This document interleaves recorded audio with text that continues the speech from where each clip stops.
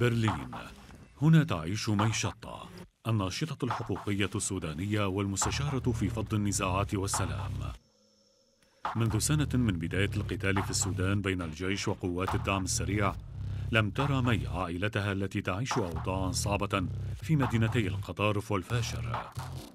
وليس من السهل لها أن تعيش بأمان في برلين في حين تعاني عائلتها تحت وقع الحرب في السودان.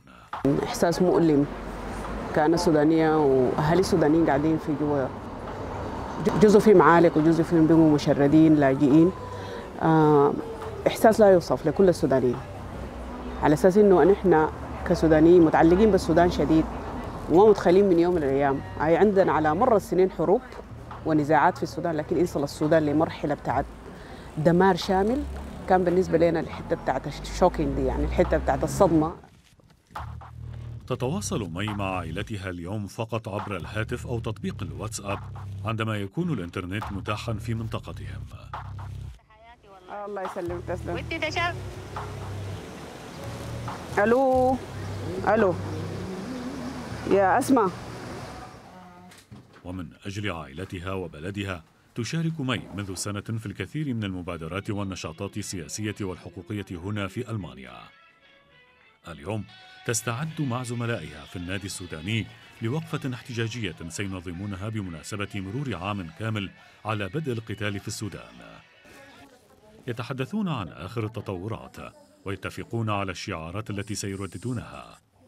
هؤلاء الشباب السوداني لم يتوقفوا يوما منذ بداية الحرب عن تنظيم الفعاليات والتظاهرات من أجل الضغط وإيصال أصوات عائلاتهم هنا في أوروبا لوقف الصراع. صلاح واحد منهم. مشاعر الخوف والقلق على عائلته لا تتركه. أنا دوري آه، محتبره مهم لأنه هو بيحكس الصوت بتاع الناس اللي في الشارع وصوت أهلي.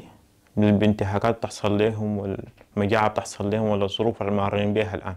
فبشوف إنه الحاجة دي مهمة جدا إنه أنا أشتغل ودي الحاجة اللي تربيت بها إنه أنا أكون زول حر وديمقراطي. ولازم أعمل على إنه نعيد السلام للسودان مرة ثانية والناس ترجع لبيوتها سالمة وغانمة فاطمة هي كذلك طالبة جاءت لتعلم اللغة الألمانية لكنها علقت في ألمانيا بسبب الحرب. تحاول أن تفعل أي شيء يمكن أن يساهم ولو قليلا في تغيير الوضع في بلدها ومطالبها واضحة. بتمنى إنه الحرب تقف آه نرجع بيوتنا آه نرجع جامعاتنا. دراستنا حياتنا الطبيعية عملنا. فبتمنى إنه نرجع في وطن ديمقراطي.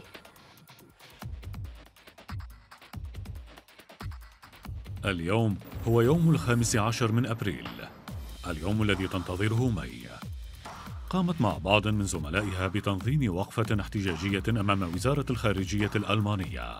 ستسلم 1500 توقيع جمعتهم لتقدمهم كعارضة للوزارة للضغط على المسؤولين الألمان لتحريك الملف السوداني وإيقاف إزهاق أرواح الأبرياء في المدن والقرى السودانية رغم أن الوضع السياسي في السودان ما يزال غامضا ومعقدا.